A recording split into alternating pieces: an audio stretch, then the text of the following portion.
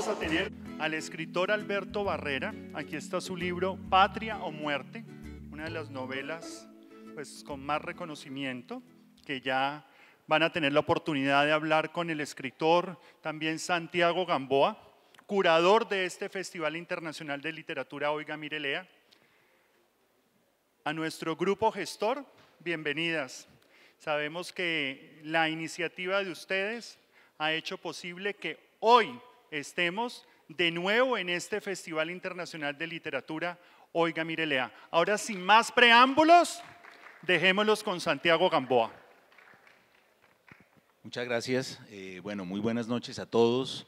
Eh, muchas gracias por venir a acompañarnos, por asistir a este festival Oiga Mirelea, que está hecho para ustedes, con todo el apoyo, por supuesto, y con, teniendo como anfitrión este espacio tan extraordinario, la Biblioteca Departamental.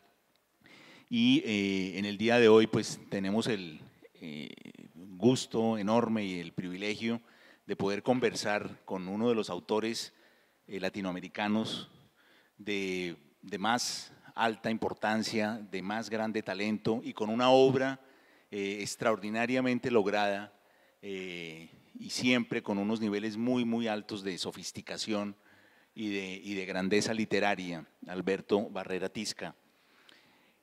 Vamos a comenzar hablando, eh, para que ustedes se hagan una idea, quienes aún no lo conocen, eh, hay un cuerpo central de novelas, que son tres, aunque tiene una primera, pero digamos el cuerpo central de sus novelas eh, comienza con La enfermedad, una novela del 2006, que fue premio Herralde en España y que fue publicada prácticamente en todo el mundo, con muchísimo éxito, con un gran éxito de crítica.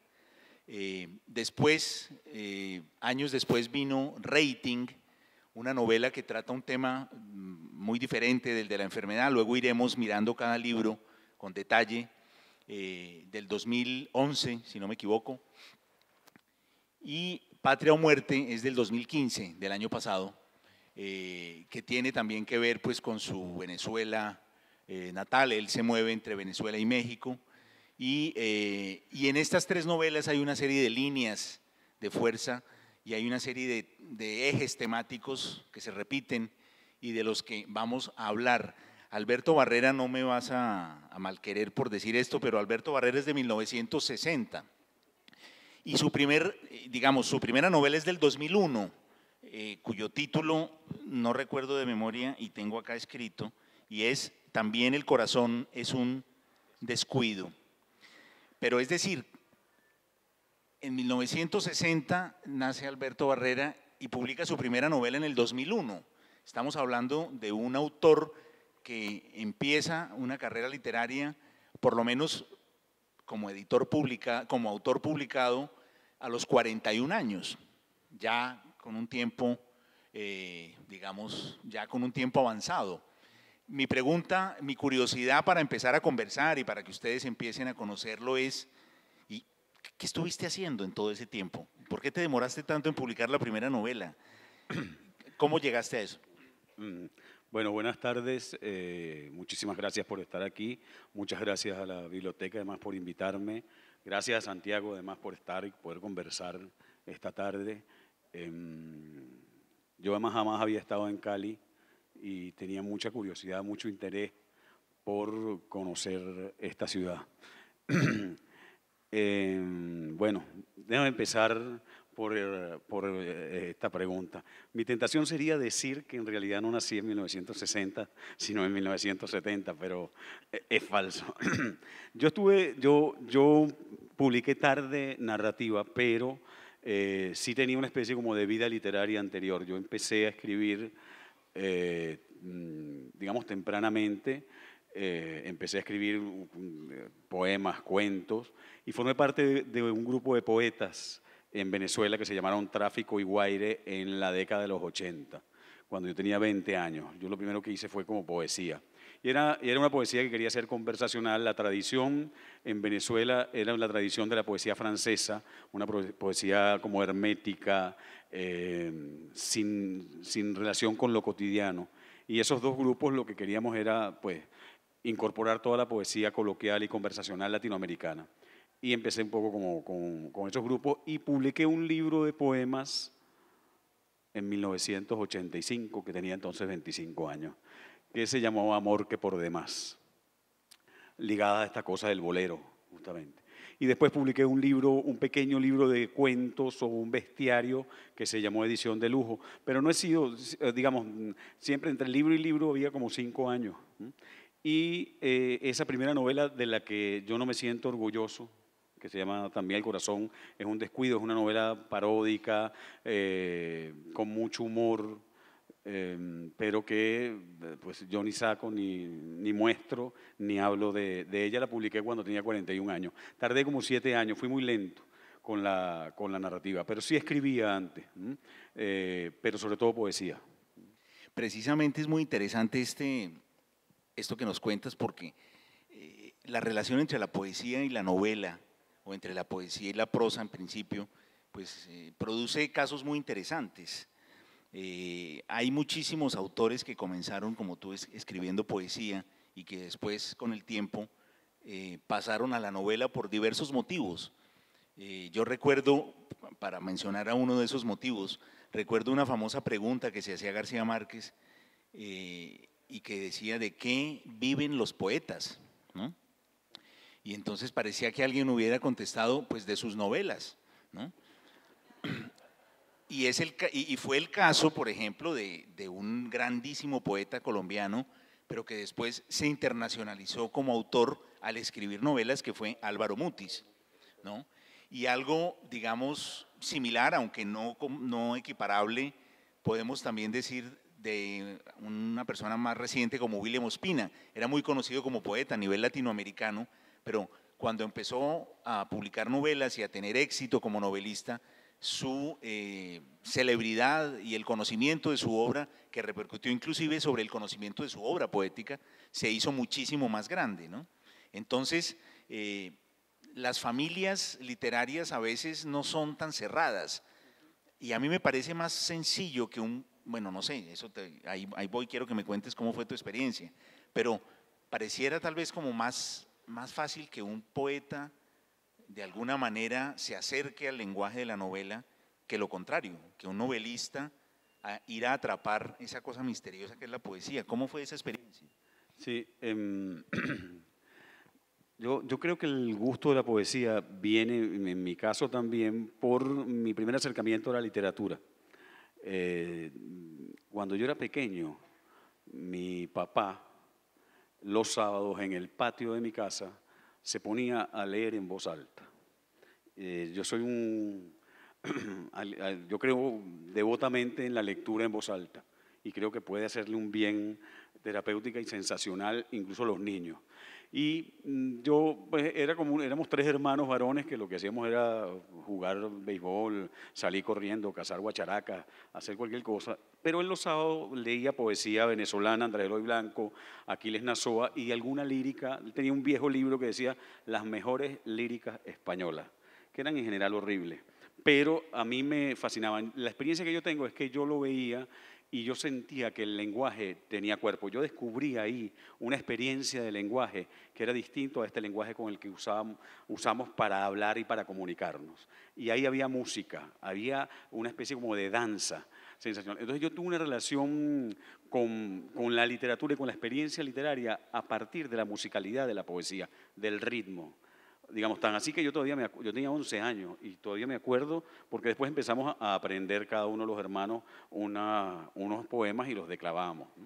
Entonces, esa idea de la, de la literatura ligada al ritmo, al sonido de las palabras, más que al contenido y a lo que se dice, eh, me marcó mucho. Y creo que pues yo empecé después a leer como mucho más poesía y después escribía por imitación. Y creo que a partir de ahí viene esa relación con lo poético que después se traslada a la narrativa. A mí, cuando yo escribo narrativa, también tengo un interés especial en el lenguaje, en, en cómo suenan las palabras, que yo creo que ese es el problema de la, de la poesía. ¿no? Eh, y, y, es posible que un narrador, que haya narradores que estén más pendientes de contar una historia, de armar un buen relato y que no tengan esa relación con, con el lenguaje. Por lo tanto, su camino hacia la poesía, eh, me figuro que será, como, como dices tú bien, más difícil. ¿no? Esto es muy interesante, este tema a mí siempre me ha apasionado porque a veces en, la, en el tránsito de la poesía a la prosa, de la poesía a la novela, por ejemplo, eh, el poeta le cuesta trabajo, y ese precisamente no es tu caso y es algo que me llama mucho la atención de tu obra, pero muchas veces a los poetas les cuesta trabajo decir frases banales, ¿no? Y claro, las novelas están llenas de frases banales. Para hacer novela es prácticamente, es casi obligatorio. En ciertos momentos, escribir frases tipo, se levantó y caminó con decisión hacia la ventana. Una frase completamente banal, pero si uno no la escribe, pues no puede escribir novelas. ¿no? Entonces, y eso, en la, eso para un poeta puede ser, puede ser agresivo, porque, porque no, porque él está buscando otra potencialidad en el lenguaje.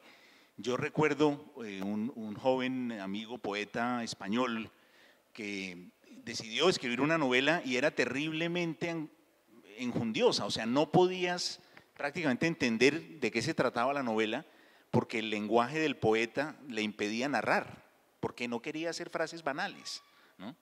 Y esto es algo terrible porque, porque es, lo contrario de, de, lo que tú señalabas, la incapacidad que por el otro lado tiene el novelista, de repente, de cuando hace poesía, pues lograr esa fascinación de las palabras que solo logra pues, un poeta. El, yo siempre he dicho, tal vez lo, lo, dije el año pasado acá también, pero para mí es una imagen muy clara. El, el narrador es como, como la clase obrera de la literatura y el poeta es más como la clase noble, es la nobleza. Escriben, escriben más, menos palabras, pero, pero más finas, de más calidad. Como decía Hemingway, palabras de 100 dólares. La novela se hace con palabras de 10 centavos, las novelas, ¿no? Entonces, pero, muchas, palabras. Pero muchas más. Y, pero ese es el otro problema del novelista, que tiene que escribir toda la hoja, desde el borde hasta el otro borde. pero bueno, siempre, siempre este tema me ha apasionado y alguna vez te cuento eh, con, una, con, una, con ese mismo amigo poeta, que, que él solamente leía poesía eh, y hablaba permanentemente de la superioridad de la poesía, lo que, lo que es una tontería porque eso lo sabe todo el mundo, la superioridad de la poesía. Eh, pero la única cosa que él aceptó de mí fue cuando yo le dije, al menos acepta que es más fácil escribir un poema malo que una novela mala. Entonces, eso sí, claro, porque ahí viene el trabajo físico casi que del, No, pero y, una de las cosas terribles es que realmente sí es muy fácil ser un mal poeta. En un continente que, por cierto, está lleno de buenos poetas.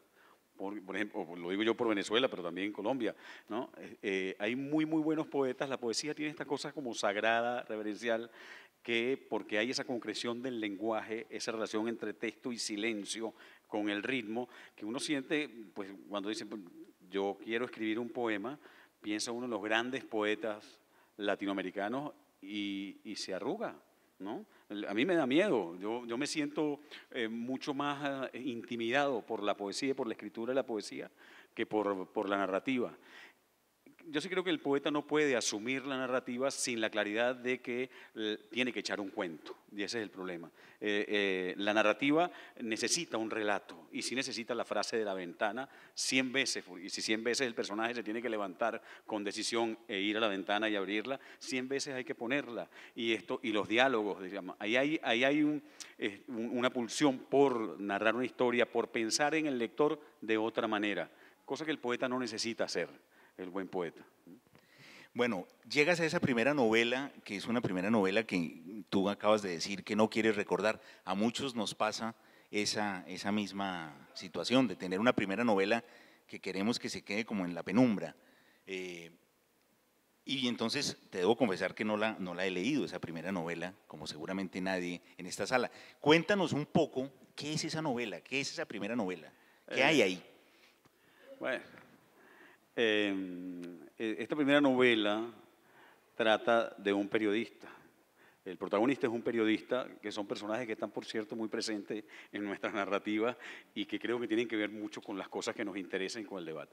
Es un periodista venezolano al que un día se está divorciando, está en un trámite difícil personal y un día le dicen que en Estados Unidos ah, hay un venezolano que asesinó y descuartizó a una mujer en un estado donde hay pena de muerte, por lo tanto sería el primer venezolano al que van a condenar a muerte y lo mandan, eh, le dicen que si quiere ir a investigar el caso y él va. Y a partir de ahí suceden una cantidad de cosas paródicas y, pues que querían ser divertidas. Eh, no, sé cómo decir, si, si, sigo hablando voy a decir que es pésima. Y, voy a empezar a hablar con rabia. y voy a decir, y él caminó hacia la ventana con decisión y se lanzó por la ventana. Entonces, eh, eh, eh, traté de hacer algo que además golpeara un poco esa tradición francesa que también estaba en la narrativa, que era la escuela de la mirada, una literatura donde no pasaba nada y aquí pasaba de todo. El venezolano era un venezolano de centro-occidente, donde tenía una cosa un poco escatológica era un hombre con una relación terrible. Eh, bueno, lo tengo que decir porque eh, la novela es eso. Él seguía una máxima en la vida que eh, se repite en algunas regiones del país, que era que quien tiene sexo con mujeres feas tiene mejor y más sexo. ¿no? dicho, no, no, no, no, se dice tan bonito en la novela, ¿no? Este, ni tan lírico. Y, entonces eh, este hombre en ese pueblo de Estados Unidos donde vivía, lo único que había hecho durante los 15 años que había estado era eh, perseguir, acosar y tener relaciones con las mujeres más espantosas del pueblo. Y había terminado asesinando a esta porque esta quería tener una historia de amor. Es un poco como este, paródico. Y, en, bueno, en la mitad había un cubano. Era una cosa como un, poco loca toda. Oye, pero entonces. es, la, es la única vez que lo he dicho. bueno, ya, la leímos. no, después de esto no la pueden leer. pero tú mencionas en esa novela que hay que el protagonista, el protagonista es un periodista. Eh, antes de seguir con las otras novelas, eh, el periodismo tiene, tuvo importancia para ti, la tiene todavía. Aquí te cuento, aquí en Colombia muchos de los escritores eh, pues, somos periodistas, eh, y más bien los poetas se han dedicado a la, a las, a, la publicidad, a hacer eh, copies de publicidad. Es como una, eh, pues algo que no es sistemático, por supuesto, pero que se repite mucho, como esa, esa manera de, repartirse, obviamente por una cuestión económica, para poder tener pues un sueldo y tener una cosa. ¿Tú, tú tuviste en paralelo en esos años una experiencia de periodista y, por eso hiciste un, un, personaje periodista o eso vino después? Yo, yo fui copy de publicidad y me fue muy mal. Estuve seis meses y no, no, no, no, me, no me, hallé, me, me, fue muy mal. Y, y tuve que, que, renunciar, me fui y, y entré en un periódico pero no como periodista, porque yo nunca estudié periodismo, entré a trabajar en el archivo de un periódico. En realidad estaba dispuesto a aceptar lo que fuera. Yo, en ese tiempo mi, mi, esposa estaba embarazada, yo iba a tener mi primera hija y, y pues tenía muchos problemas económicos. Y entonces acepté trabajar en el archivo de un periódico. Yo me tenía que levantar a las 4 de la mañana, iba al periódico y leía todos los periódicos que llegaban a las 5 y media, para que cuando llegara el director yo le hacía un informe y le decía cómo había salido nuestro periódico, el periódico para el cual yo trabajaba, con respecto a los demás. Entonces eso me permitía tener la noticia, cómo había eh, este, seguido la noticia tal periódico, tal otro medio, y a partir de ahí, qué habíamos tenido nosotros, qué no. Y después, a partir de ahí, eh, empecé en un suplemento cultural del periódico. Sí tuve relación con, con, el periódico. Después me enamoré de una periodista y cada vez tenía más relación con el, con el periodismo. ¿no? Y entonces, pues, por ahí van las cosas. Tenías relaciones exteriores con el periodismo. Bueno, y entonces, eh, en esa novela tomas el personaje del periodista y después viene, eh, cinco años después, la enfermedad, que es una, pues, que es una novela, seguramente muchos de ustedes la han leído, es una novela que, pienso yo, sitúa a Alberto inmediatamente, prácticamente es tu primera novela internacional. Eh, y pues esto, ya, ya te sitúa a un nivel altísimo eh, por la cantidad extraordinaria de temas y subtemas que están al interior pues de, de ese gran digamos, ecosistema que inventas en ese libro y que son los diferentes ángulos desde los cuales se vive la enfermedad. Eh, y, yendo hacia lo profundo, yendo por momentos con humor, presentando unos, unos personajes de una sofisticación extraordinaria. cuéntanos un poco cómo llegaste a ese tema, eh, cómo, pues, de algún modo escribiste esa novela tan maravillosa. ¿Cómo se escribe un libro tan bueno y tan maravilloso? Sí. A ver, yo no, yo no soy un escritor con un método eh, muy establecido y organizado, la verdad. No, no, a veces empiezo mm, a ciegas un poco. Tardo mucho con, con, los personajes o con las historias adentro, las voy decantando, las voy pensando. Cuando me siento a escribir, no, es, no tengo ya el mapa totalmente hecho. Yo una vez oía, veía una entrevista con Vargas Llosa donde él explicaba que cuando él se sentaba a escribir, eh, pues ya tenía las fichas y sabía que iba a pasar en los 17 capítulos del libro. En capítulo 1 tal y tenía de cada capítulo una cantidad de fichas. Yo, yo envidié esa, esa naturaleza porque yo no la tengo, digamos. Eh, entonces, mm, por ejemplo, la enfermedad, no sé muy bien a veces, hay cosas que descubro incluso después. Yo estaba en Barcelona, en España, con mi mujer, eh, nos había prestado un apartamento un, un amigo, eh, Juan Villoro, para que termináramos un libro biográfico sobre Chávez que estábamos haciendo ella y yo. Habíamos hecho toda una investigación y estábamos en la redacción final y nos fuimos un mes. Y yo para descansar de esta cosa periodística, política en la que andábamos, estaba tratando de terminar un libro de cuentos. Y uno de esos cuentos era la historia de un hipocondríaco. Y empecé a trabajar un poco sobre ese, sobre esta historia del hipocondríaco y de repente yo empecé a sentir que ese cuento se me iba yendo de las manos sin saber yo y empezó a abrir otras puertas y empezó a abrir otra historia y de repente sentí que estaba en una novela y que tenía que replanteármelo todo. Y ahí fue que me senté como a hacer el mapa y lo único que tenía claro en ese momento era como el final y que tenía muchas ganas de hacer una historia ensimismada, íntima, eh, chiquita, cercana, que como un poco en reacción con, con, esa idea de que los latinoamericanos tenemos que hacer epopeyas históricas o grandes novelas exteriores con problemas políticos o con mulatas de fuego o con boxeadores, ese, ese tipo de cosas que, que, a veces esperaba o espera Europa de América Latina. Entonces la idea de hacer una novela que sucediera en Caracas, pero que tuviera como tema el cáncer y la enfermedad del padre y la relación padre a hijo me, sedujo mucho. Entonces aquella historia inicial del hipocondríaco termina estando en la novela, pero no es el centro fundamental. Y entonces empecé a trabajar eh, esa, esa historia. Yo creo mucho en la corrección, en la reescritura. Entonces, pues yo escribí esa, esa novela y después pasé dos años reescribiéndola, eh, ensayando cambiar eh, de, voz narrativa, digamos, ¿no? Eh, con un narrador omnisciente, con un narrador en primera persona, haciendo un ejercicio que, suele hacer mucho, que es recorriéndola toda, subrayando todos los adjetivos para después ver si tiene sentido o no qué adjetivo. Entonces, así fue que, nació y que funcionó un poco la enfermedad.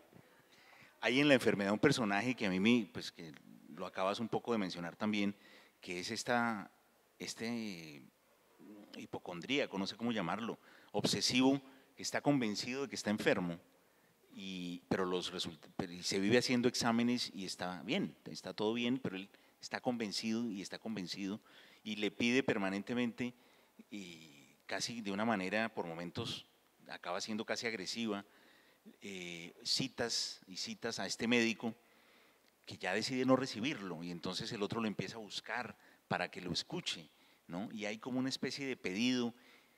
Y ahí nos vamos, pienso yo, a unos niveles extraordinariamente sugerentes, como de la fragilidad, de la condición humana, de la soledad también, ¿no? A mí me parece que tú tratas en ese libro, no sé cómo lo veas, precisamente uno de, pues uno de los grandes temas de la literatura latinoamericana, que es la soledad, pero desde un ángulo completamente original, y es este pobre hombre escribiendo esos larguísimos memoriales hablando de su supuesta enfermedad que no tiene, para ser escuchado por este médico que no lo escucha. Fíjate que ahí yo quería como cruzar dos, dos líneas. Y eso sí fue como deliberado. Es decir, aquí eh, en la enfermedad hay un, un, médico que es además mm, que cree en la medicina eh, real, directa, que, piensa que hay que decirle la verdad a los pacientes siempre y, así ha funcionado. nunca ha tenido problemas éticos con respecto al manejo de la verdad, hasta que de repente se enferma su padre de cáncer y él no sabe cómo decirle la verdad. Eh, yo quería poner desde, de un lado eh, de, la enfermedad a este doctor y del otro lado a este paciente que tiene o que siente todos los síntomas y que quiere comunicarse este, y que nadie le cree. Entonces, eh, que él tiene una, una, enfermedad que no es legítima, por decirlo así. Y me parecía fantástico cruzar que en el lado del saber, de la medicina, de la enfermedad real, inmediatamente se instala el silencio y la incapacidad de comunicarlo, como una forma también de la enfermedad y del lado de la supuesta enfermedad eh, imaginaria, hay una necesidad de comunicación absoluta, pero que no tiene respuesta. Y cómo si esas dos experiencias se cruzan, se pueden iluminar o no. Porque en el fondo eh, eh, la experiencia de la palabra puede ser terapéutica frente al hecho del silencio. Y cómo me parecía a mí que había que rescatar que ambos dolores eran absolutamente legítimos y que la enfermedad de la cual está hablando el hipocondríaco o aquel que sufre ataques de pánico es una enfermedad absolutamente real, ¿verdad? Él la está sintiendo y es parte de su angustia, aunque no tenga los diagnósticos que tiene eh, la enfermedad clínica, para decirlo así. Yo, hay, una cosa que, a mí me pasa, yo pienso que, escribir también es una, una forma de conocerse. Eh, yo a veces escribo las cosas y después en la lectura, en la reescritura, me doy cuenta o aprendo, entiendo de dónde salieron. Y en la lectura de los otros también, ¿no? Eh, mm, son como formas de revelación. Cuando yo estaba corrigiendo la enfermedad, dije, pero ¿de dónde me viene a mí todo esto? Había unas líneas que eran como claras en mi experiencia, eh, que yo veía, pero recordé algo que estaba en algún momento, pues en la caja negra, y, que de repente apareció ahí eh, gracias a la escritura. Yo cuando tuve 17 años, no sé por qué, 18 años, quise ser sacerdote. Entonces, eh, pues yo, no, yo, ninguna vocación es pura. Entonces es muy probable que yo quisiera irme corriendo de mi casa, que pasaran una cantidad de cosas por ahí, pero en el fondo quería hacer en los tiempos la teología de la liberación, entonces los jesuitas eh, era una forma como de ser salvadores, eran de izquierda, pero además religioso, y no se llevaba sotana, se llevaba el pelo largo, se hacían sindicatos, cooperativas. Eh, fue, fue como tentador y estuve dos años en esa experiencia y me salí un mes antes de hacer los votos. Pero en, los estudios que San Ignacio le pone a, los estudiantes seminaristas, hay algo que se llaman las experiencias. Y según el maestro de los novicios o los seminaristas, pues según cada sensibilidad, él elige qué experiencia te toca. Pues si hay un muchacho que viene de la nobleza o de la godarria caraqueña, lo mandaban para un sindicato, digamos, ese tipo de cosas. Y a mí me mandaron a un hospital oncológico. Pero era algo que yo había borrado como completamente. Yo estuve trabajando como enfermero en un hospital oncológico durante unos meses y fue una experiencia como terrible. Y yo creo que mm, a mí me marcó muchísimo. Yo releyendo eh, la enfermedad, de repente apareció la imagen, una imagen que yo tenía ahí guardada de una niña, me acuerdo una niña menor de 10 años eh, que estaba en un pasillo y la mamá estaba muy mal porque tenía cáncer, que era una cosa terrible. Esto era, por supuesto, un hospital oncológico de monjitas y yo era un seminarista, por lo tanto todo el mundo esperaba que yo tuviera una respuesta religiosa frente a la enfermedad. Y para mí fue terrible porque vivía el hecho de que no había una respuesta clínica ante la enfermedad porque la gente se moría y yo no tenía ninguna posibilidad de darle a ninguno de ellos una respuesta religiosa. Y creo que fue un poco, eh, eh, digamos, ahí yo después ubico el origen de este libro, digamos, ¿no? En esa inquietud y, o el origen de muchas de las cosas que están puestas eh, en este libro frente a la condición de la enfermedad, que es algo que en Occidente nos, pues nos ha costado mucho aceptar como, como parte de la naturaleza humana. Eh, yo creo que mucho más en estos últimos años, pues yo no sé qué en Colombia, en, en, Venezuela, pues sí, en otros lados, la salud se ha convertido como una especie de nueva utopía. Y se multiplica en la farmacia, todo el mundo quiere ser súper sano y, y hay incluso la idea de, una nueva culpa asociada a la enfermedad. Es decir, si te enfermaste porque no comiste brócoli, te dijimos que comieras brócoli. Exacto, te dijimos que bebieras dos vasos de agua en ayuna y no te los tomaste y seguiste comiendo salchichón, ¿no? Y eso tiene tantos preservativos. Entonces, esta idea de que nos enfermamos porque somos culpables de la enfermedad, que es una cosa que a mí me parece terrible, en vez de entender y tratar de aceptar que por desgracia para todos nosotros el destino del cuerpo es corromperse. Pero me, parece muy interesante eso que señalas de cómo cuando eras novicio, de alguna manera te, te, pues te, te, sentías mal de no poder dar una respuesta religiosa o un alivio, probablemente. ¿Tú creías, eh, eras un creyente, o sea, creías en Dios de manera, o crees en Dios, perdona que te haga esta pregunta, de manera fuerte? No, eh, digamos, ahora no. Yo creo que en ese momento sí. No, eh, pero eh, es que es muy difícil. yo, yo, he tratado de pensar mucho en eso porque además tengo grandes amigos creyentes, ¿no? Y gente además a la que respeto, inteligente, digamos, y que, y que tiene fe. Yo lamentablemente no. Ahorita, en ese tiempo creo que sí, he llegado a pensar que fui educado para responder afectivamente a este fenómeno cultural de la fe. mi mamá era polaca, y los polacos se sabe que tienen una religiosidad, ¿no? Son capaces de caminar kilómetros de rodillas. Eh, y, mi mamá era muy católica. Y quizás a, mí algo de eso también estaba, yo creo que en ese momento, por supuesto, que tenía fe. y que para mí fue mm, muy muy terrible, porque además tenía las monjitas que, que me decían, oiga, usted ha pasado aquí cuatro semanas y no ha ido ni una sola vez a la capilla, digamos, ¿no? Y, y no, yo no podía hablar, no tenía argumentos para hablar con una muchacha de 22 años que había llegado semana y media antes, buena moza y con un novio, y que dos semanas después estaba flaca, sin novio y pensando que se iba a morir. Te, te hago esta pregunta, me interesa mucho porque eh, hay, un, hay un caso en la literatura que a mí me encanta, que es el de eh, un autor británico que tú habrás leído, Graham Greene. Y, y ese tipo de, de, argumento, Graham Greene era un autor católico.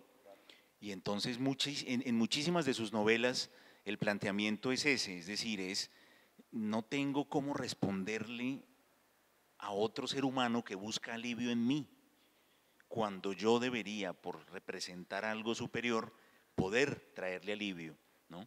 Entonces, inmediatamente cuando contaste esa, esa, ese, ese, ese episodio de tu vida, encontré ahí pues una fuente brutal de profundidad y de, y pues porque las novelas de Graham Greene, aparte de que son novelas de espías fascinantes, son unas novelas de una profundidad, de unos estudios de la condición humana extraordinarios, y justamente uno de los temas centrales de la obra de Graham Greene es ese, es cómo la respuesta, un poco lo que en, la literatura, entre comillas, católica, cuál es la respuesta de Dios a ese hombre que sufre, ¿no? Y de algún modo tu novela La enfermedad está en ese nivel de profundidad, ¿no?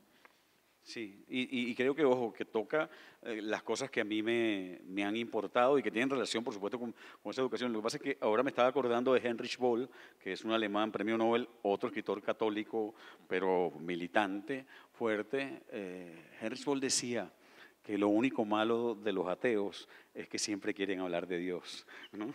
Entonces, eh, a veces yo me siento así.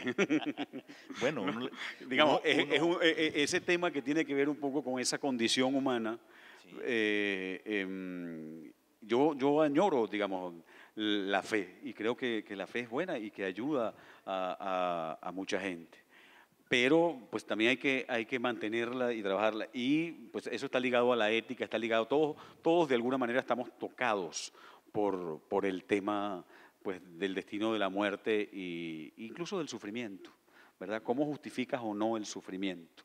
Y el sufrimiento clínico que es, que es terrible. Claro, claro.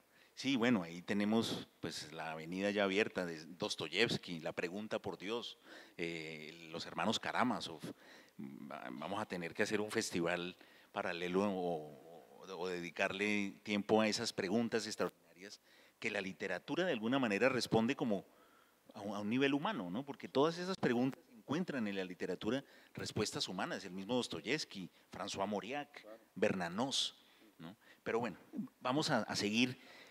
La enfermedad supone para ti, aparte de pues, haber escrito una novela extraordinaria, bellísima, profundísima, supone para ti entrar por la puerta grande a este mundo de la, digamos, de la literatura desde el punto de vista de ser escritor. O sea, tú te conviertes, digamos, prácticamente con, el, con un libro, eh, te conviertes en un escritor de primera fila, ganas uno, uno de los premios más prestigiosos de la lengua española, el premio Herralde. Tu novela se distribuye por toda América Latina con gran éxito en España, la crítica se vuelca en elogios, empiezan las traducciones. Cuéntanos un poco cómo viviste todo eso, llegar, porque tú venías de un mundo distinto. Cuéntanos cómo fue ese... Eh, sí, era un poco como inesperado. De hecho, eh, yo, yo mando la novela al, al, concurso con la idea de que todos los concursos están más o menos arreglados. ¿no?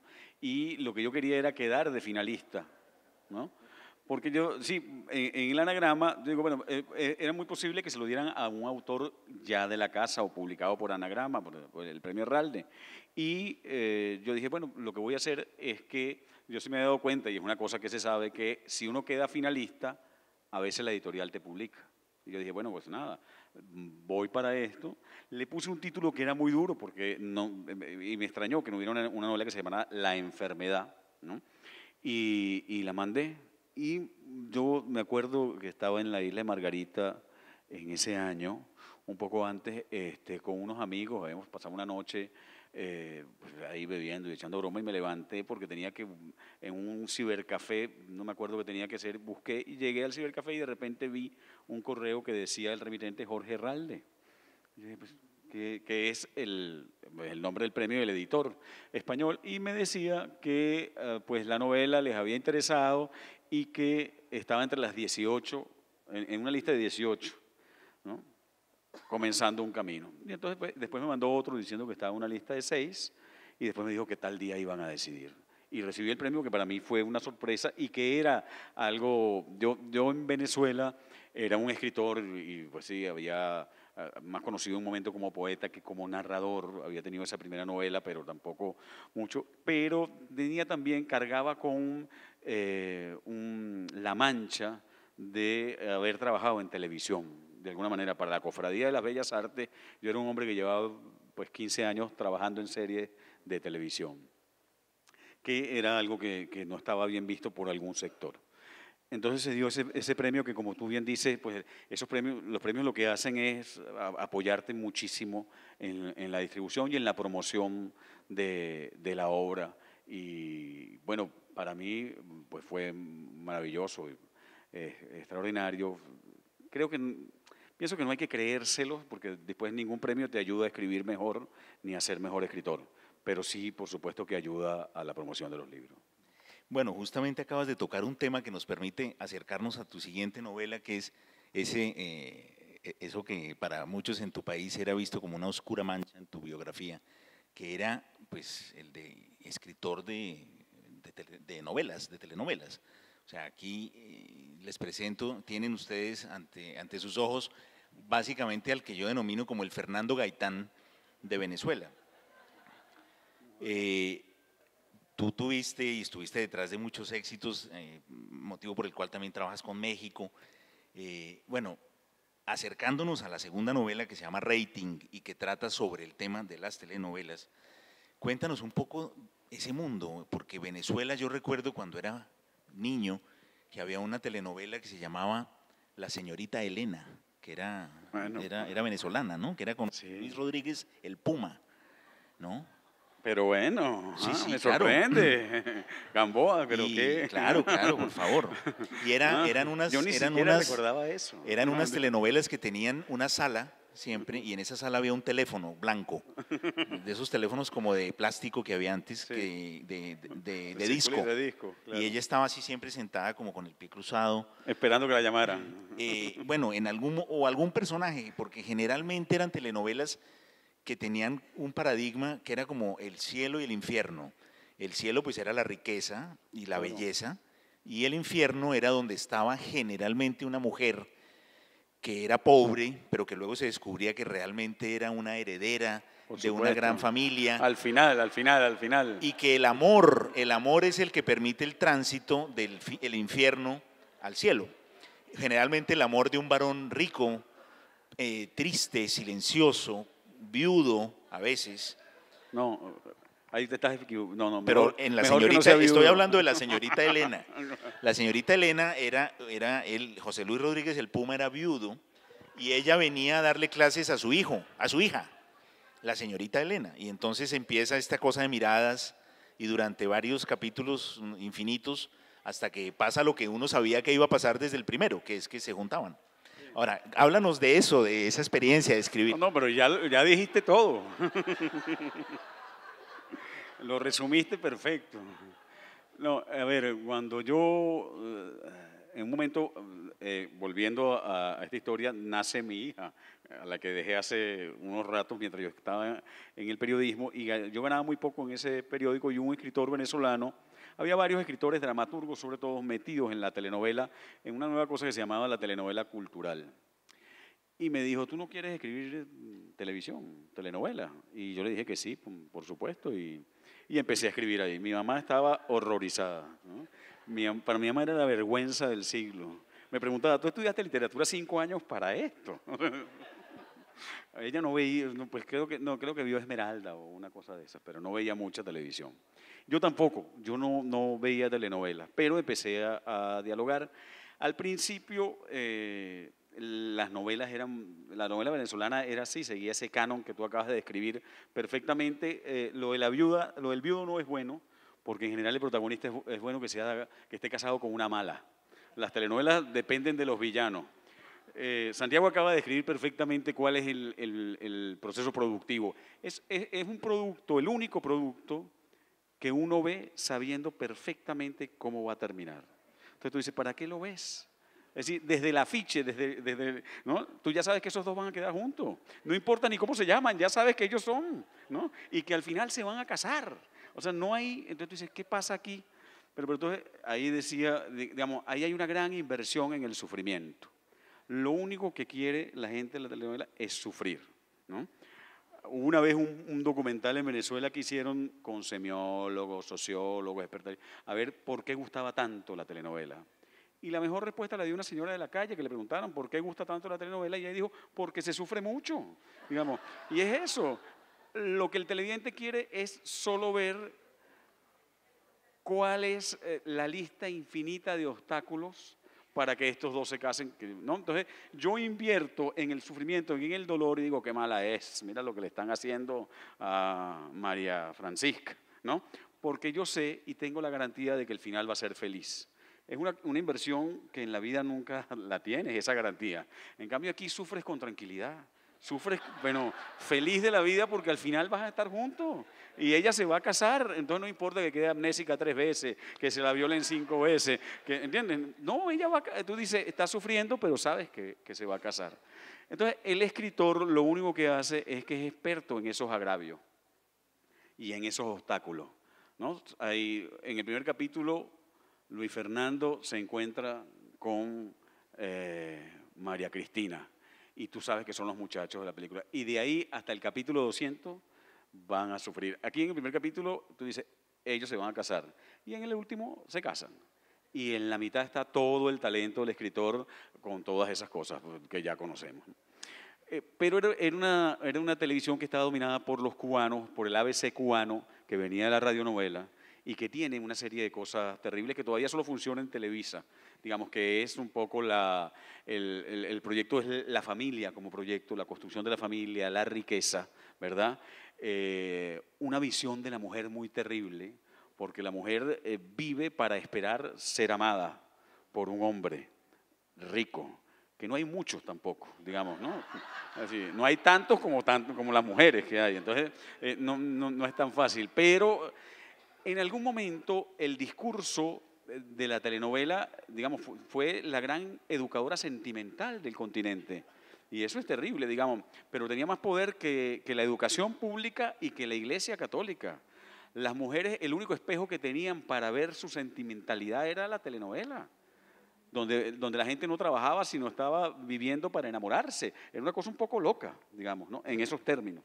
Y, y te hago un apunte en todo esto además eh, contaminado por esa idea de que la mujer se salva a través de la belleza, ¿no?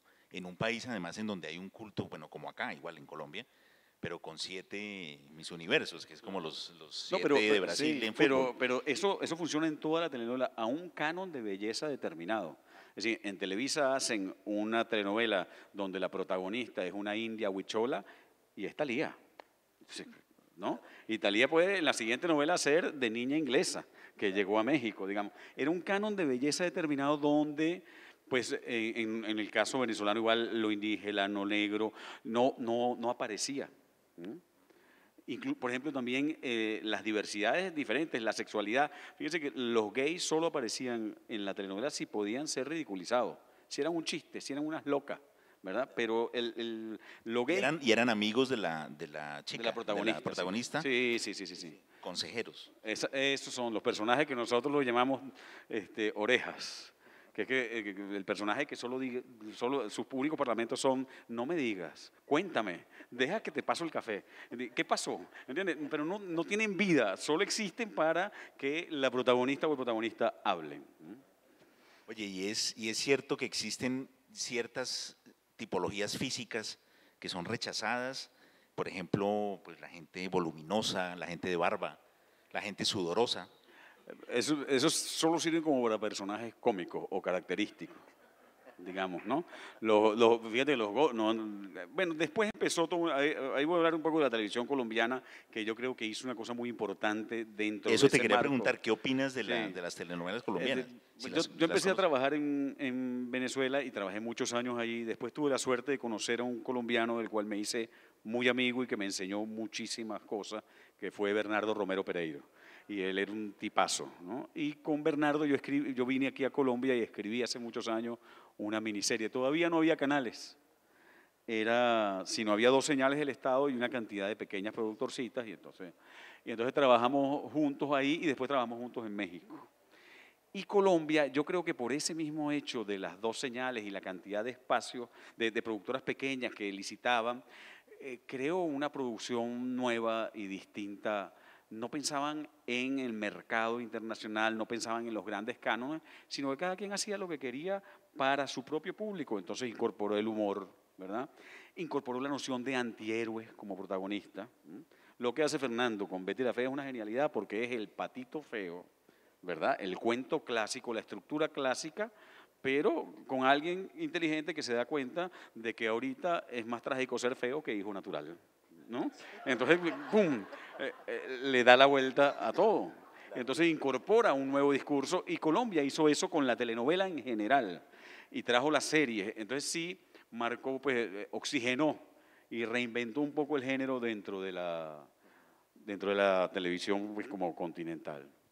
Pero fíjate qué interesante lo que dices de que la telenovela era la educación sentimental, porque efectivamente, pues muchas personas veían eh, desplazados sus propios dramas personales y familiares y, eh, y, se entregaban a sufrir con estos sufrimientos eh, de la televisión e inclusive se volvían los de ellos de alguna manera frívolos o insignificantes, ¿no? Con respecto a los grandes dramas que se estaban viviendo.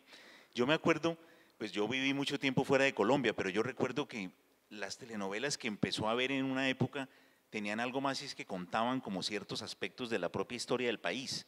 No estaban como congeladas en ese presente de las anteriores, en donde había pues el hombre rico y la muchacha y el apartamento con, con la vista, sino que de repente se interesaban, yo recuerdo café, que entonces hablaba de la, de la cosa del café o azúcar, en fin. Guajira, por supuesto, pero es que además eso, eh, eso es, Colombia incorporó al país como contexto real, digamos una forma de hablar. Si uno veía las telenovelas, hubo un momento donde eh, las productoras y los canales de América Latina pusieron su ojo en, en Univisión, digamos, en el mercado hispano en Estados Unidos. Y una de las cosas que eh, se aplicó como, como ley es nada de particularidades, novelas que pudieran ser, que estar en cualquier lugar. Entonces, además, incluso se empezaron a poner de moda los acentos neutros.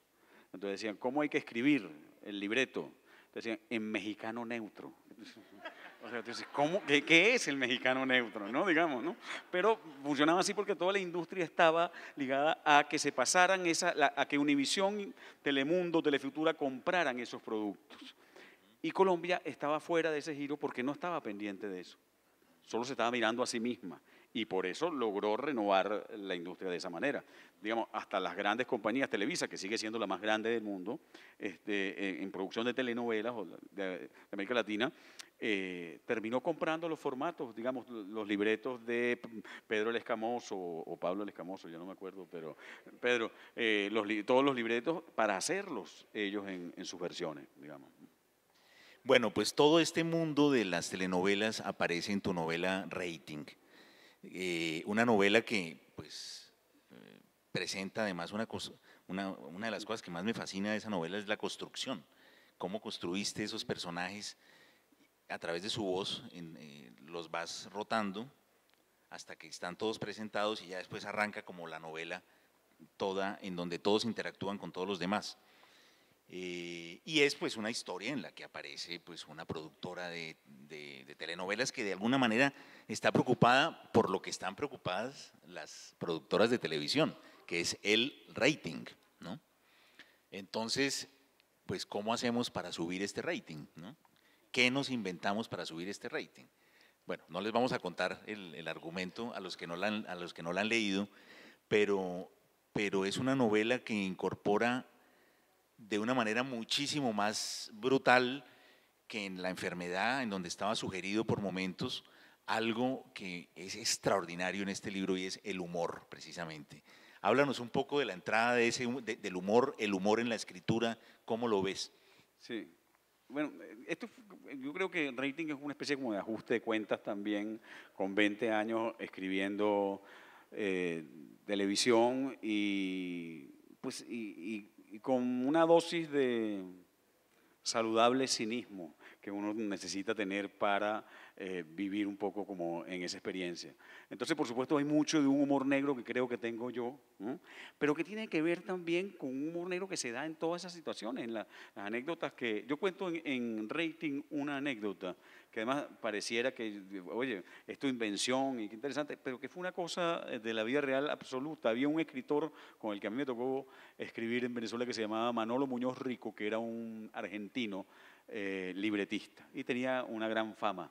Y su gran fama se debía a que en los tiempos eh, en que se transmitía en vivo en las telenovelas, él era un escritor y había, hubo un problema entre el sindicato y el canal.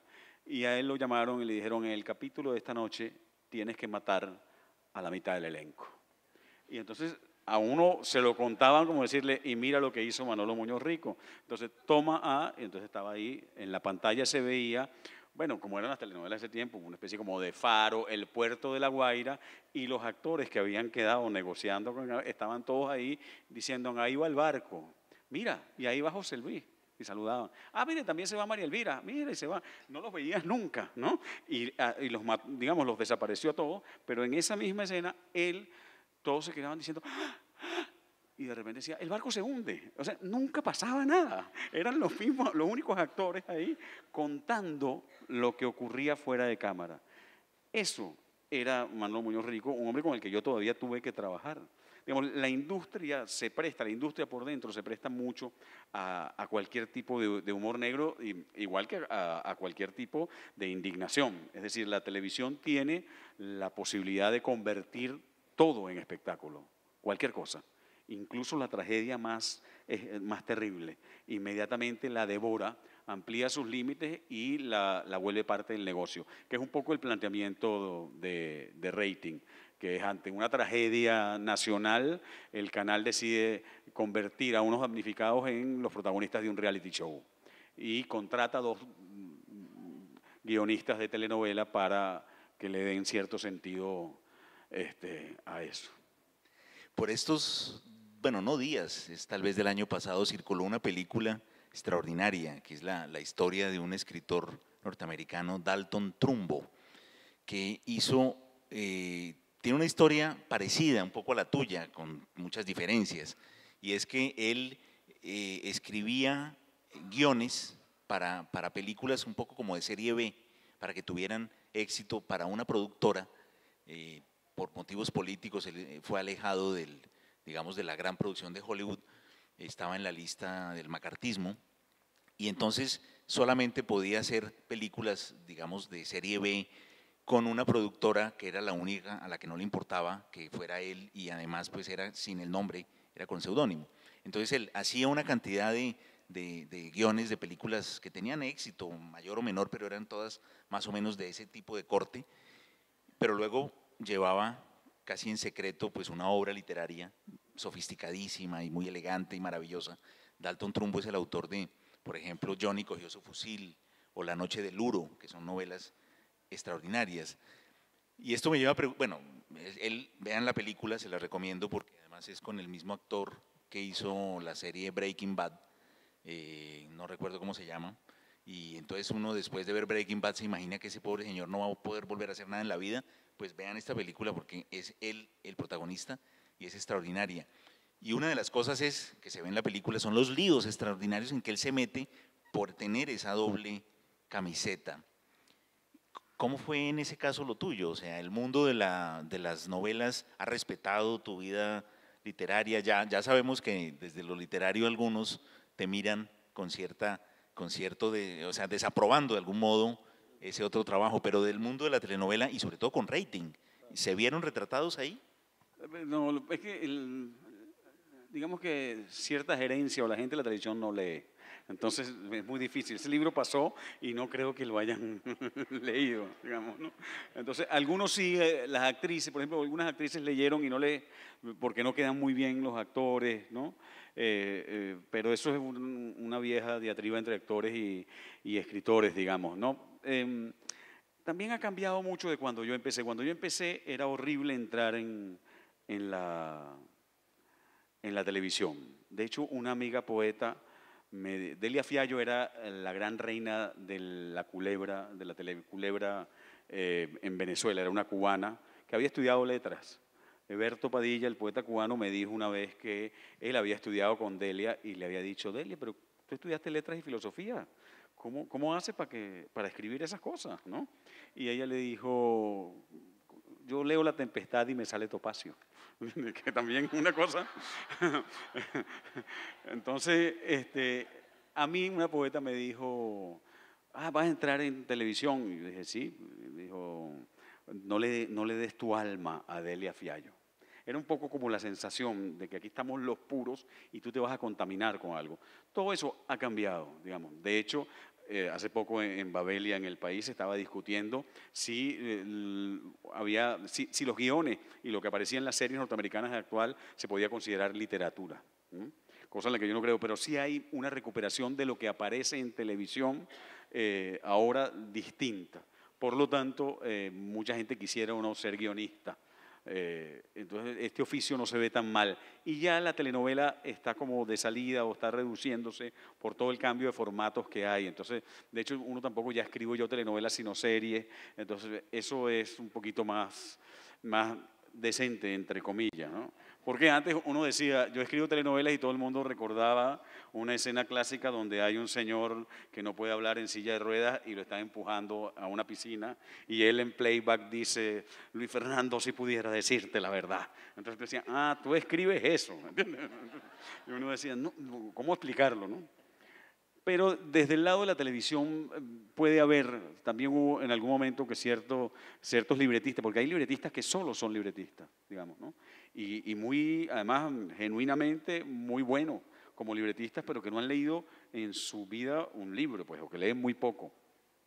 Y ellos podían sentirse también invadidos por esta figura, ¿no? que en una reunión pues citan libros, hablan de otra cosa, eh, eh, escriben literatura. Bueno, de hecho, en, Rating uno de los personajes que está un poco de salida, está casi eh, perdiendo pues el, el, éxito que tuvo siempre, precisamente es alguien que, que tiene pues unas eh, aspiraciones cultas y de alguna manera este, este dilema está planteado en la novela también. Hay, hay, hay, hay muchas escenas divertidas, extraordinarias. Hay una escena que a mí me enloqueció y te voy a preguntar, por supuesto, con mucha delicadeza. Hay una escena en la que ahí, les voy a contar, pero que no salga de aquí o que lo lean. Hay una mesa con un mantel y hay una serie de productores de telenovela alrededor y la mesa les cubre la cintura. Y entonces estos malvados productores invitan a una, a una actriz y esa actriz se mete debajo de la mesa. No les voy a contar lo que sigue. Pero es decir, lo que se genera ahí es como la idea de que el escritor, el que escribe, es casi como seducido por las actrices para que les haga más texto, para que los, les dé más presencia en las historias. Eh, Ese es un viejo mito, sueño. Sí, no, no, no, no tanto. Eh, pero la, este, es posible que el, poder fundamental lo tengan los productores. Esta escena, que es una cosa que yo oí una vez, es un juego que hacían unos productores, que se llama El Impasible. Y entonces ponía, se ponían, ellos estaban reunidos y ponían a la actriz eh, debajo y tenían que reconocer quién de ellos estaba haciendo o no, este, no sé cuál sería la palabra. Eh, pues, este, atendido. Exacto, ¿no? Em, pero este, yo creo que, se ha profesionalizado así como mucho más. Hay de todo en esa industria y en, y en esos cuentos, me figuro que sí. Pero pues eh, cuando yo empecé, sí los productores tenían como mucho poder. En, en América Latina, curiosamente, yo creo que eso viene de, la industria del cine mexicano. Eh, el productor es el que tiene, es el dueño, digamos, del, de la novela. Y alguna gente cree que es incluso quien la escribe. Digamos, en, México dicen la telenovela de Carla Estrada, digamos, que es productora. ¿no? no que es escritora. Y puede haber varios escritores. Entonces, muchas veces, incluso las actrices pueden no saber quién escribe este, la telenovela y van directamente, el poder lo tiene el productor. Bueno, llegamos al alta mar ya de esta conversación y entonces eh, llegamos a, la tercera novela, eh, cuarta en realidad, de Alberto Barrera Trisca, Patria o Muerte, novela que tuvo el prestigiosísimo también premio de la editorial Tusquets en el año 2015. Eh, y se me ocurre como para lanzar la conversación sobre esto, que en este libro se unen varias cosas que ya has estado trabajando, porque Alberto hizo una biografía de Chávez, lo mencionó, ahora vamos a profundizar en este tema. Luego, pues la enfermedad es la enfermedad centrada en el cáncer y vamos a encontrar un cáncer también en Patria o Muerte, el cáncer de Chávez. Y de alguna manera, pues todo lo que en la novela Rating tiene que ver con el, levantar el rating de, un, pues de una productora, casi lo podríamos también entender desde un punto de vista político como el buscar permanentemente motivos para que la población apoye de una manera ciega y siga, eh, ya no a través de un camino de sufrimientos como en las telenovelas, sino tal vez en un camino distinto que probablemente nos, trates de ayudar a, dilucidar, pero para aumentar como la gran popularidad política de un personaje a través de la creación de un mito. Patria o muerte, pues ya todos ustedes saben esa frase, de dónde proviene. Y, lo primero que te quiero preguntar es, eh, yendo un poco hacia atrás, eh, para, para, que nos hables de la biografía de Chávez rápidamente, que nos llevará a, este, a esta novela, la primera pregunta que te quiero hacer es, ¿tú conociste personalmente a Chávez alguna vez? Em, no sé si sería la palabra conocer, pero eh, sí estuve con Chávez y me lo presentaron una vez. ¿Y qué impresión te dio? Bueno, física, personalmente. Como era, como era Chávez, que era un hombre. Bueno, te voy a contar, les voy a contar cómo fue. Yo vivía en México. Chávez acababa de ganar las elecciones. Yo tenía una columna en el periódico y había sido muy crítico siempre con, con Chávez desde que dio el golpe en el 92, porque yo vengo de una formación de una izquierda antimilitarista, sobre todo. Y entonces me había parecido terrible lo del golpe y desde ese momento había sido muy crítico. Chávez gana las elecciones, yo sigo escribiendo mis columnas y su vicepresidente era, o ministro de Defensa era José Vicente Rangel, un viejo periodista venezolano, al que yo, con el que yo más o menos tenía este, relación. Chávez organiza una visita para México, el embajador hace una serie de cosas, yo escribo una columna en contra y José Vicente Rangel me escribe y me dice, no chicos, las cosas no son como tú dices, vente al acto ese en Coyoacán, no importa que lo que diga el embajador, porque habían dicho que me habían declarado persona no grata en la embajada, etcétera, y, ahí nos vemos. Y yo fui ese domingo a la iglesia de Coyoacán, a la plaza de Coyoacán, y ahí estaba un tenderete, y ahí estaba José Vicente, que me dijo, ah, ven para acá, ¿no? Y entonces fui yo y ahí estaba Chávez, que era un hombre alto, muy simpático, en esa cosa como jodedora venezolana. Y entonces agarró y me dijo, ¡Epa, Barrera! Tú me pegas los domingos, pero yo guapeo. Así. Yo dije, ¿cómo está, presidente? Hola, ¿entiendes? Ya. Ese fue el único momento. Eso es todo, digamos. Y pues del resto, mi mujer estaba y lo entrevistó por, porque él estaba, había una cosa con el Fondo Monetario Internacional y también lo siguió por una cosa las preguntas. Chávez era, era un tipo con un carisma especial y que sabía romper como los protocolos del poder, ¿no? y hacer sentir que estaba mucho más cerca. Tenía, tenía carisma, digamos, y lo sabía manejar. Sí, efectivamente esto que me cuentas me, les cuento, les comento otro, digamos, a otra persona le hice esta misma pregunta que tú conoces muy bien, a, Oscar Marcano. También le pregunté un día, le dije, bueno, lo conociste personalmente y qué impresión te dio. Y él me contaba, pues una persona que, por supuesto, en, la oposición desde muy temprano, me decía, sí, la primera, o sea, la primera vez que estuve frente a él fue en una cita que yo pedí para hablar de un problema de unas personas que habían sido detenidas. Eh, y le, y le dije, ¿qué impresión te dio? Y me dijo, mira, en primer, el primer, la primera impresión fue muy desagradable, porque físicamente era como alguien, decía este Oscar Marcano, desagradable. Dice, pero lentamente, decía Oscar, dice, me fue atrapando con esta, pues eso, con esa capacidad para desarmar, para sabiendo un poco quién eres o eh, saber tirar una frase acá, una frase alegre, una frase como y este amigo me decía, a los 10 minutos yo me tenía que pellizcar, porque yo ya estaba casi como, llevado por un impulso a decir lo que él quería oír, ¿no? a mí me contó una chef venezolana este, que fue un viaje con él a, Japón, se la llevaron como... Y entonces ella estaba triste, no me acuerdo por qué, estaban en Tokio una vez y entonces se había quedado ella a las 2 de la mañana mirando algo y de repente siente una mano aquí. Y voltea y era Chávez que le dijo, tú estás triste, ¿verdad? Pero esta cosa que tú dices, el presidente que hace por aquí, que está insome o qué, pero se acerca, quiere oírte, siempre te estaba como comunicando esa, esa sensación. En ese viaje, mi mujer que se caló todo un poco como la gira, no sé cuánto, al llegar al aeropuerto, ella estaba igual con la gente de la Cancillería en la despedida. Chávez se va a montar en el avión y de repente se para, regresa y saluda uno por uno a todos los motorizados que habían acompañado pues, a su carro adelante y atrás durante la gira.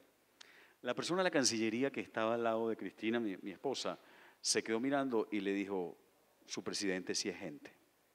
Digamos, pero ese es el impacto que lograba, digamos. Lo que él conseguía un poco como efecto en la gente era eso. Bueno, y esa biografía que tú escribiste en el 2005. 2004. Salió O sea, es muy, es, muy temprana ya para lo que, sí. Es decir, Chávez muere en el 2013. 13. Bueno, ¿cómo fue recibida? Entiendo que fue, pues obviamente era una biografía no oficial. Pues, no, sí, no autorizada. No, eso, no autorizada. ¿Cómo fue recibida? Háblanos un poco de la experiencia de haber... Esa, eh, fíjate que fue la primera biografía documentada, la verdad. Y, y la idea salió de una editorial. Yo no estaba como muy ganado y, Cristina me convenció, ella, ella sí es periodista estudiada de raza y además muy buena y estableció pues como... Nosotros teníamos una ventaja, vivíamos en México en ese momento y nos planteamos cómo hacer un libro que superara el problema de la polarización venezolana que estaba, pues la mitad de la población pensaba que Chávez era la reencarnación de Bolívar y la otra mitad pensaba que era la reencarnación de Hitler. Entonces aquello era un poco complicado. Entonces decidimos, más por idea de Cristina, hacer una especie de hoja de vida entrevistando solo a gente que había vivido con Chávez, que lo conocía de trato directo. No a gente que quisiera opinar, que todo el país estaba lleno de gente que quisiera opinar, sino a gente, pues, y entonces estuvimos buscando desde su mamá, este, oficiales, amigos de la infancia, eh, y en ese momento, por suerte, que era el 2002, 2003, 2004, no, no había, no había tantos anillos de seguridad alrededor de la figura de Chávez. Es decir, fuimos a hablar con su mamá y, habló, digamos, con amigos suyos que era el viceministro de Seguridad, Alcides Rondón, con una cantidad de gente. Y eso nos permitió construir un poco como esta obra coral que, eh, que daba cuenta del personaje. Los únicos dos eh, que, entrevistados que no cumplían con esa condición eran el expresidente Rafael Caldera, que lo indultó, y el expresidente Carlos Andrés Pérez, que fueron los únicos. Pero el resto fue, fue llevado así. Y no había salido nada, y eso funcionó, por eso funcionó, digamos, como, como muy bien. Este, porque Chávez ya era un personaje que empezaba a internacionalizarse, ¿no? Y entonces teníamos de alguna manera también una especie de publicista involuntario. Es decir, Chávez llegaba a Estados Unidos y decía, aquí huele azufre, y llamaban a la editorial, inmediatamente diciendo, ¿quién es este señor? Pues uno de los personajes de Patria o Muerte, Patria o Muerte, pues como les digo, tiene también, como los anteriores libros de, de Alberto, pues una construcción extraordinaria, una forma de irse presentando la historia muy original, en donde el, siguiente presentado, el siguiente protagonista eh, surge de la historia del primero, en, una especie como de pequeña catarata, que produce un efecto muy, muy bonito. Eh, y uno de esos personajes es una, es una norteamericana que está fascinada precisamente con ese poder de seducción, ¿no? que tiene Chávez. Por eso te, te, preguntaba también por ese poder de seducción extraordinario. Y ella, eh, de algún modo, lo que quiere también es acercarse a personas que lo hayan conocido, que hayan estado cerca de él y que, y que le puedan, eh, está haciendo una tesis, si no recuerdo mal, una tesis, un trabajo. Un reportaje, sí, sobre el carisma. Un, reportaje sobre el carisma, ¿no? Eh, que, que, que, pues es lo que estamos un poco comentando, esa capacidad pues de acercarse a, la gente, de saber con una mirada lo que esa otra persona, de alguna manera, la frase que quiere escuchar, ¿no? Eh, ¿Cómo fue, o sea, cómo, cuéntanos un poco el paso de, de, de ser un biógrafo no autorizado allá ocuparte eh, en una novela, insisto, que, nos muestra en la misma forma de ser de la novela el terrible drama que está viviendo Venezuela en este momento. A, ver, yo igual que, que, con la enfermedad, digamos, yo estaba escribiendo otra historia, ¿no? Yo estaba escribiendo la historia de una niña que por motivos de la violencia eh, termina viviendo sola. Y, estaba viviendo en ese momento en Caracas cuando Chávez anuncia que tiene cáncer y viví todos esos años. Y empecé a sentir que ahí se abría una especie de ciclo narrativo posible entre el momento en que Chávez anuncia que tiene cáncer hasta el momento en que se muere. Y era una posibilidad de meter y de indagar en lo que éramos los venezolanos, lo que estábamos viviendo en ese espacio eh, y empecé a sentir que ahí estaba la novela. Incorporé en ese relato lo de la niña y empecé a trabajar sobre otras historias. Entonces, Patria y Muerte, un poco como cumple ese ciclo, tú, tú señalas muy bien, la enfermedad de Chávez está como un telón de fondo, pero está muy presente, es una voz que se va apagando y se va un poco registrando lo que supimos y no supimos los venezolanos, lo que vivíamos en ese, en ese momento. Y los protagonistas son unas historias como de ficción que están en primer plano y que representan diferentes tipos de, de venezolanos. Em, yo me había prometido que no iba a escribir más sobre Chávez, digamos, y que en literatura nunca iba a ser este, eh, una obra de ficción que tuviera que ver con eso. Y uno no puede decir esas tonterías porque después la literatura lo traiciona. Entonces, poco a poco me fue llevando esta historia. Me pareció que, ahí había una cosa como muy importante para tratar de, trabajar incluso un, un espejo. Eh, Humberto Eco, a propósito del nombre de la rosa, dice que cuando uno no sabe explicar algo o no puede explicarlo, mejor cuente una historia. Y es un poco lo que dice el Gabo, que también que la lógica de los latinoamericanos es el cuento. Y entonces lo que traté de, de, ver qué nos pasaba, cómo habíamos llegado aquí, los venezolanos, qué estábamos viviendo, era eh, reuniendo una serie de historias y armándolas en una novela. Ahí, por cierto, para retomar, es que lo de la historia de la gringa, ahorita que lo dices, eh, sí, hay una, hay una periodista gringa que está como fascinada con Chávez, tiene un poco la mirada de, de los de europeos y de, y de, norteamericanos que suelen tener con respecto a los procesos de nuestros países, que a veces son como muy simples y muy cándidas, ¿no? Y ella también está fascinada como por el rollo del carisma. Yo siempre he pensado después que este personaje, ¿no? Eh, comparte, o sea, tiene algo que ver con el inicio del cerco de Bogotá, fíjate, porque comienzan las dos, o sea, en algún momento también esta gringa se despierta sin saber con quién durmió, ¿no? Pues fíjate, mira, esta novela le produce a uno a través de historias totalmente individuales, pequeñas, le produce a uno la sensación de disolución, como de un, claro, estamos viendo pues historias de la vida privada, de unos apartamentos que están en disputa, otra niña que está encerrada en un apartamento y chatea, primero con un, con un, eh, pues con un nombre falso y después, y, y, la sensación de disolución, casi como de fin de, como de, fin de época, eh, que le transmite a uno el libro es extraordinariamente potente y de alguna manera yo me preguntaba, ¿es eso lo que tú ves que está pasando en Venezuela? Esa, o sea, es, es casi como una metáfora o mejor dicho, lo es. Sí, sí es una historia creo que desazonadora eh, en la medida en que bueno, apunta mucho incluso a la polarización, que es eh, la división del país. Eh, no sé si les suena la polarización, ¿saben de qué se trata? Claro, ¿no? bueno, Colombia tiene... Por eso lo menciono. Por supuesto, claro. yo creo que la polarización, que es algo que funciona mucho en, en algunos populismos y que, y que es un signo de la política de nuestro tiempo, es una... Bueno, hay líderes que destapan la irracionalidad de los países y, creo que es algo que hizo Chávez, que está haciendo Trump en Estados Unidos, es una invitación a eso, ¿no? a, crear lealtades absolutamente pues, eh, ciegas, afectivas, a convertir la política en, una emoción y expulsar el discernimiento del debate ciudadano. Entonces, nosotros hemos vivido 17 años donde perdimos los 10 años de bonanza económica más importantes de nuestra historia, de toda la historia de Venezuela, se perdieron en estos, en estos años, eh, en algo que no se sabe muy bien dónde está y que llamamos la revolución, entre comillas. Entonces, eh, es, un problema para nosotros, para mí, en todo caso, muy complejo y desazonador, te voy a decir, entre otras cosas, porque también es otra oportunidad perdida. Eh, la desigualdad era la gran tragedia de Venezuela y sigue siendo, y de América Latina, la violencia, la impunidad, la pobreza. Y a, partir de ahí es que nacen casos como el de Chávez, digamos, ¿no? Eh, Chávez, Teodoro Pekov, que es un gran líder de la izquierda venezolano, histórico, que ya está mayor, cuando ganó Chávez, eh, me decía que el gran problema de, con Chávez es que hablaba como nosotros.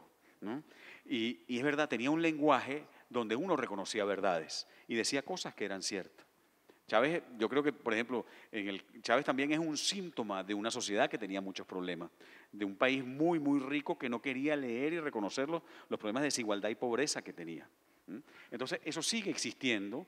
Dimos una vuelta enorme para llegar al mismo sitio, ¿verdad? Y perdimos años, esperanzas de mucha gente, eh, y estamos otra vez en un hueco terrible, con una inflación de 700, con los niveles de pobreza creciendo y, un país que no confía en el otro, que ve al otro como enemigo.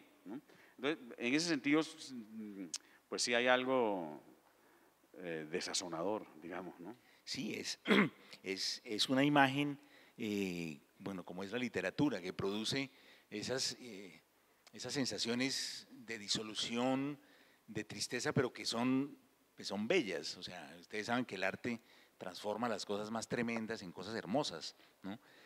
Y esa sensación de tristeza, casi ayer evocando inclusive tu novela, un poco preparando esta conversación contigo, y justo teníamos, perdona que me vaya algo tan banal, teníamos un partido de fútbol con Venezuela.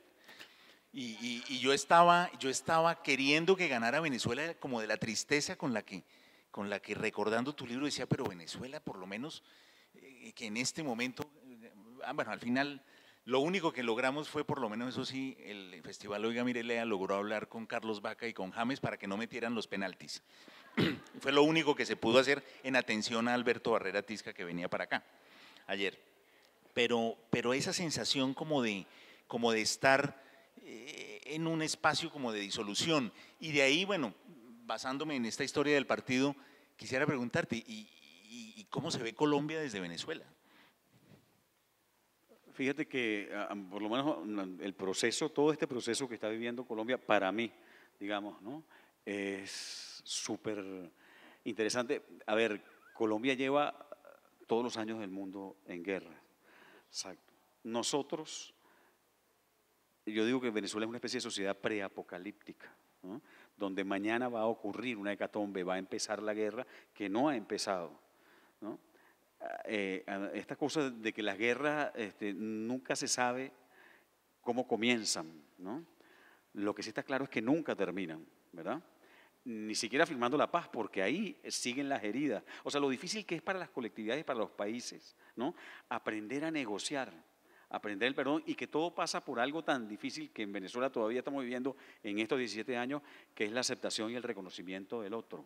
A mí una de las cosas que me aterra un poco en, en Venezuela es cómo se ha hecho legítima la violencia desde el discurso político, ¿verdad? cómo es un país lleno de armas ilegales, cómo, cómo, cómo se pierde el sentido de la institucionalidad y empieza la impunidad, y cómo terminas en procesos que, como el colombiano, como el salvadoreño, es decir, no hay, sino la enseñanza de la civilización es que hay que sentarse y negociar, no hay de otra. Es decir, bueno, en eso estamos nosotros, ya acabamos de terminar esa parte, ahora sigue la otra, eh, como todos sabemos, y, y bueno, pues para ya acercarnos al final, pues Colombia y Venezuela con dos historias recientes tan difíciles, pero al mismo tiempo eh, viviendo un poco el uno al lado del otro, la población siempre ha sido amiga, nuestros, presidentes eran enemigos hace unos años y era horrible ese cruce de insultos entre Uribe y Chávez. Eh, y, eso bajó terriblemente como el nivel del discurso político casi que en toda América Latina, ¿no? Esas peleas eh, bueno, hoy pues estamos en una situación diferente. En todo caso, eh, yo creo que si hay dos países que se parecen, o por lo menos yo voy mucho a Caracas, como tú sabes, eh, dos países que se parecen son Colombia y Venezuela. Nos divertimos casi del mismo modo, tenemos un poco las mismas, ¿no?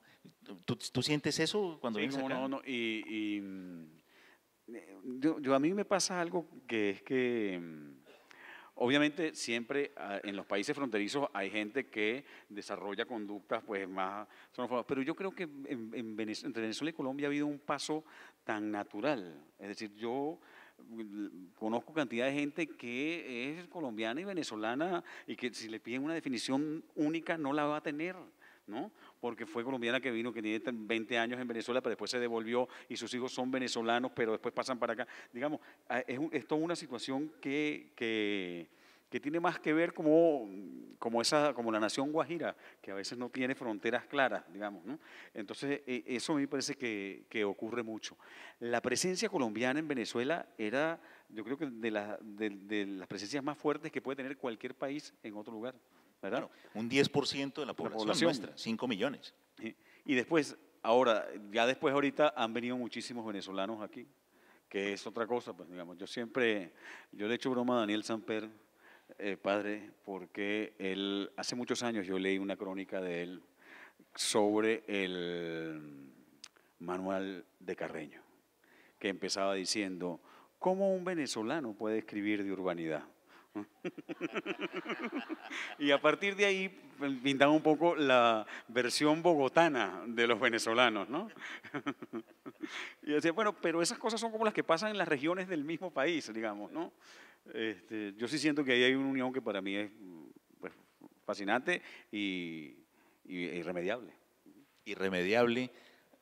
Aquí está con ustedes Alberto Barrera Tisca en el festival Oiga, mira, lea la enfermedad, rating, patria o muerte. Muchas gracias. Muchas gracias.